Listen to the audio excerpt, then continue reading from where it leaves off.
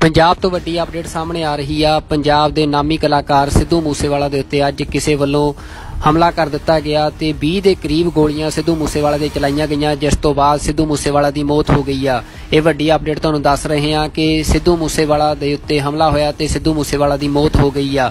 ਸਿੱਧੂ ਮੂਸੇਵਾਲਾ ਨੇ ਇਸ ਵਾਰ ਵਿਧਾਨ ਸਭਾ ਦੀਆਂ ਚੋਣਾਂ ਵੀ ਲੜੀਆਂ ਸੀ ਤੇ ਸਿੱਧੂ ਮੂਸੇਵਾਲਾ ਦੇ ਉੱਤੇ ਇਹ ਹਮਲਾ ਜਿਹੜਾ ਹੈ ਵੱਡੇ ਸਵਾਲ ਪੰਜਾਬ ਸਰਕਾਰ ਤੇ ਵੀ ਖੜੇ ਕਰ ਰਿਹਾ ਹੈ। ਪੰਜਾਬ ਸਰਕਾਰ ਵੱਲੋਂ ਬੀਤੇ ਕੱਲ ਸਿੱਧੂ ਮੂਸੇਵਾਲਾ ਦੀ ਸੁਰੱਖਿਆ ਵਾਪਸ ਲਈ ਗਈ ਸੀ ਤੇ ਇਸ ਗੱਲ ਨੂੰ ਜਨਤਕ ਵੀ ਕੀਤਾ ਗਿਆ ਸੀ। ਜਿਸ ਤੋਂ ਬਾਅਦ ਅੱਜ ਸਿੱਧੂ ਮੂਸੇਵਾਲਾ ਤੇ ਹਮਲਾ ਹੋਇਆ ਤੇ ਉਹਨਾਂ ਦੀ ਮੌਤ ਹੋ ਗਈ ਆ। ਦੱਸ ਦਈਏ ਕਿ ਪੰਜਾਬ ਸਰਕਾਰ ਵੱਲੋਂ ਇਸ ਤਰ੍ਹਾਂ ਇਸ ਗੱਲ ਨੂੰ ਜਨਤਕ ਕਰਨ ਤੇ ਸਵਾਲ ਵੀ ਖੜੇ ਹੋ ਰਹੇ ਸੀ।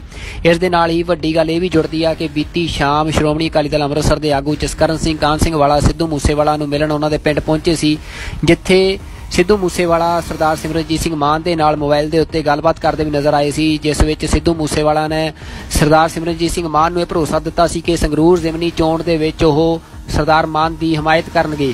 ਤਾਂ ਉਸ ਤੋਂ ਕੁਝ ਘੰਟਿਆਂ ਬਾਅਦ ਹੀ ਇਸ ਤਰ੍ਹਾਂ ਸਿੱਧੂ ਮੂਸੇਵਾਲਾ ਤੇ ਹਮਲਾ ਹੋ ਜਾਣਾ ਵੱਡੇ ਸਵਾਲ ਖੜੇ ਕਰ ਰਿਹਾ। ਪੰਜਾਬ ਦੀ ਰਾਜਨੀਤਿਕ ਸਥਿਤੀ ਦੇ ਉੱਤੇ ਕੀ ਇਸ ਕਤਲ ਪਿੱਛੇ ਕੋਈ ਰਾਜਨੀਤਿਕ ਮੋਟਿਵ ਆ, ਇਸ ਦੇ ਉੱਤੇ ਵੱਡੇ ਸਵਾਲ ਖੜੇ ਹੋ ਰਹੇ ਨੇ। ਦੱਸ ਦਈਏ ਕਿ ਇਸ ਤੋਂ ਪਹਿਲਾਂ ਦੀਪ ਸਿੱਧੂ ਵੱਲੋਂ ਜਦੋਂ ਸਰਦਾਰ ਸਿਮਰਨਜੀਤ ਸਿੰਘ ਮਾਨ ਦਾ ਚੋਣ ਪ੍ਰਚਾਰ ਕੀਤਾ ਜਾ ਰਿਹਾ ਸੀ ਤਾਂ ਦੀਪ ਸਿੱਧੂ ਵੀ ਬੜੇ ਬੜੇ ਹੀ ਸ਼ੱਕੀ ਹਾਲਾਤਾਂ ਦੇ ਵਿੱਚ ਦੀਪ ਸਿੱਧੂ ਦਾ ਕਤਲ ਹੋਇਆ ਸੀ।